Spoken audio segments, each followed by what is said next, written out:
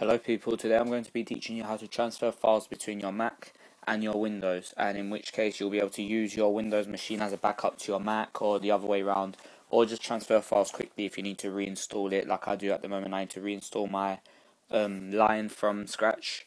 Or you can just transfer files the quickest way possible rather than using a cloud service which takes ages to upload things to or just USBs which are maximum what 16 gigabyte so at the moment, um, I need the first thing we're going to do is we'll be using an Ethernet cable. This is the quickest way, as I've already mentioned. So the first thing we do is plug in the Ethernet cable on both ends. One end to your Windows. Just make sure this, and then the other end to your Mac. And then once that is plugged in, we will go to our Windows machine and in the bottom corner where you have the internet settings we're going to we're going to click and then click on open network and sharing center. Now we're going to be clicking on change adapter settings. And over here we're going to be looking at the local area connection. This is the important part for us. So we're going to double click on local area connection. And then we're going to make sure that the connection has been established, which you can see here, duration, enabled, and speed. And we're going to click on details. And then from details, we're going to look at the important thing here is this auto configuration IP IPv4 add. So it's going to be this 169.254, this number here. We're going to be just keeping this open for now, so we're going to come back to this later. Now we're also going to open our libraries on our Windows machine, and we're going to be any of these four libraries is going to be the uh, is going to be the folder that is shared with our Mac. So we will be able to transfer files to and from one of these folders. So if we just, I'm going to just do it for our documents at this moment. I'll right click on documents and you need to click on share with and you're going to click on specific people. Now, in here, you're going to have to type guest, but it has to be spelled in this exact way capital G U E S T. And then you're going to click on add. And then the permission level, you have to make read and write, both of them. And then we're going to be clicking on share. Next. And if something like this comes up, you just press done and at this moment in time you can see once you when you highlight this documents folder it says shared. And this folder is now shared. So if we open our documents folder I'm going to create a new file in here. New folder I mean. And I'm going to I'll name it Mac.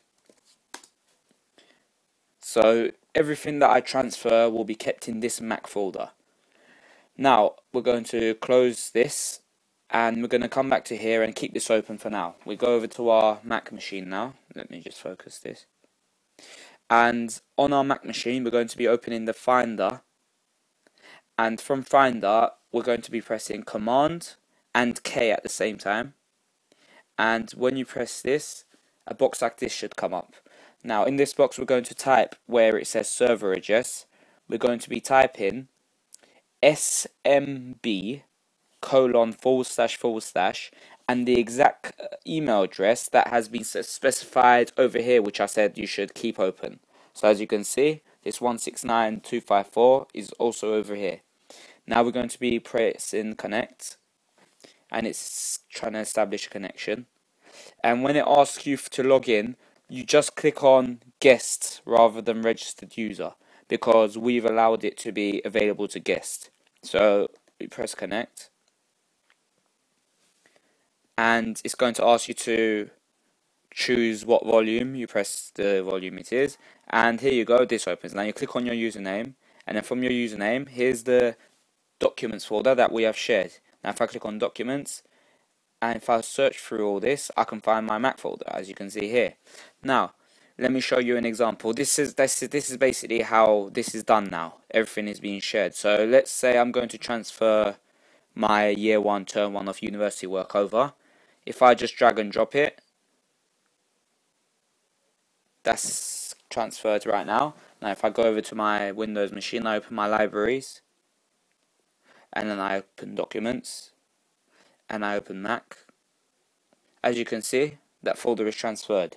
This is a very quick way of transferring files. I mean, I, I transferred 18 gigabyte music folder in about 20 minutes, so it's the quickest way I can find, but well, much better than transferring on the internet.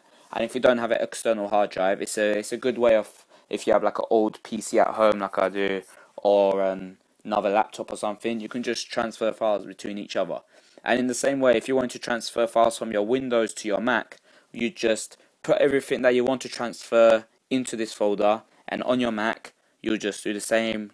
Grab this and then drop it where you want to transfer it, and as you can see, it's transferring. So thank you for listening, and if you have any questions, thank you for watching. More like, if you have any questions, just let me know.